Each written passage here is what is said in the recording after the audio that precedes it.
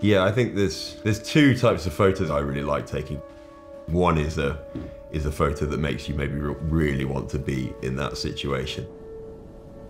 Scottish skier skiing down like a powder filled slope and it's somewhere really beautiful like that that makes you really want to be in that moment and be like wow I'm really jealous of that skier skiing that line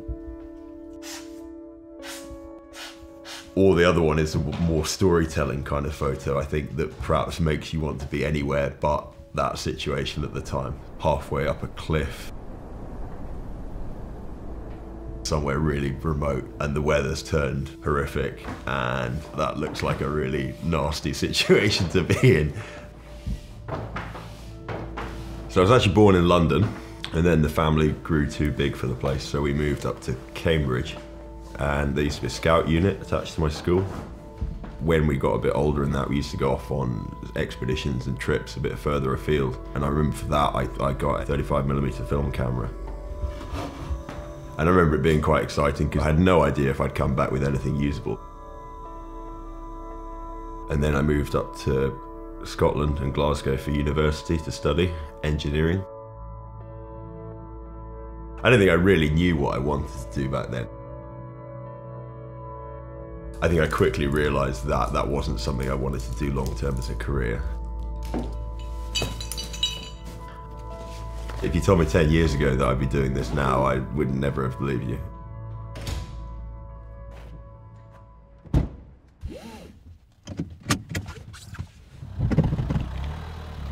I played a lot of rugby while at university and I actually started to get some sort of spinal injury.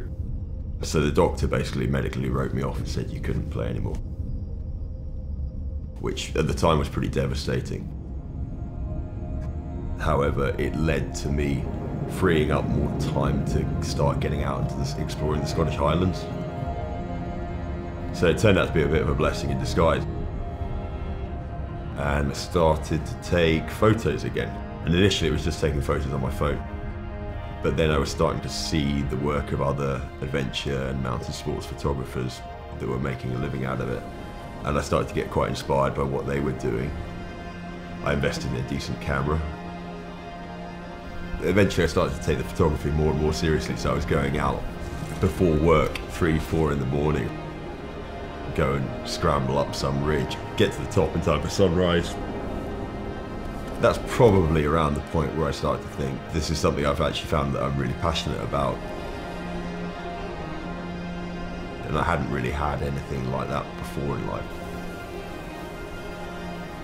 Is it something that I could maybe do if I put my mind to it? make a living out of it. I knew in my head that if I didn't at least try and give it a go, then I'd spend the rest of my life wondering what if.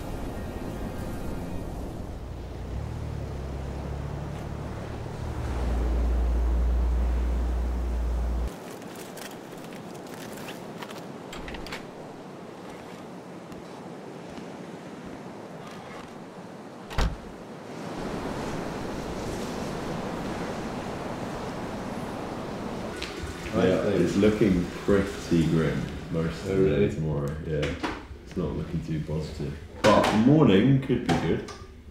You're constantly fighting around conditions, and you've always got to have lots of backup plans to fall back on when the weather doesn't let you go with the first plan. So, as in, there's loads of routes there, so you can always get a few done and then beat the weather. Views up there or something else. Yeah, it's pretty cool. You've got to be chilled out about it and go with what the weather lets you do.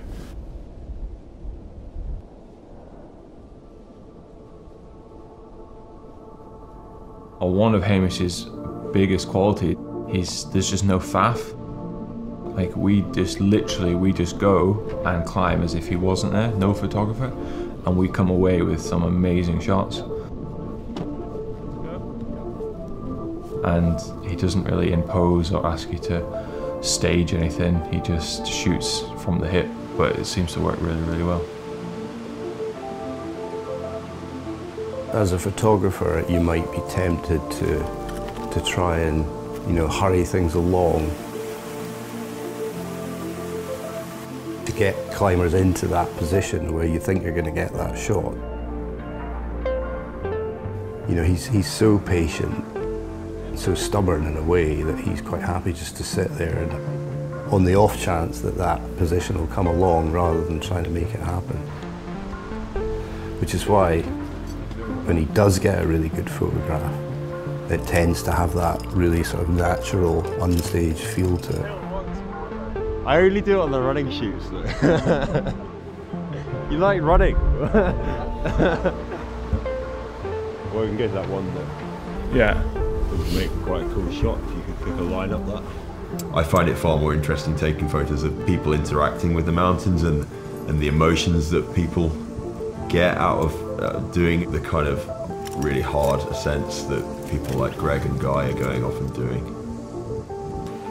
It's the last one on that page. You've got a whole array of emotions you're going through for the day. That sort of fear and doubt as to whether you could get up this thing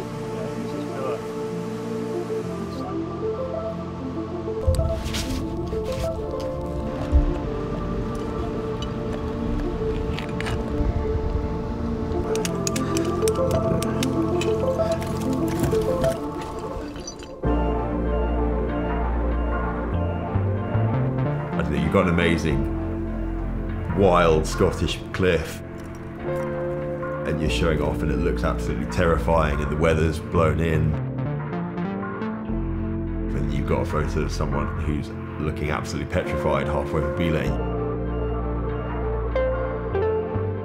and you've captured that emotion. That's my dream shot to kind of get. And obviously I'm not wanting to set up photos Scotland does tend to fly under the radar a bit in terms of mountainous areas compared to the Alps, which we obviously have very close to us. I'm constantly toying with the idea of is Scotland the best place for me to be or do I want to move elsewhere? But it's something that's keeping me here.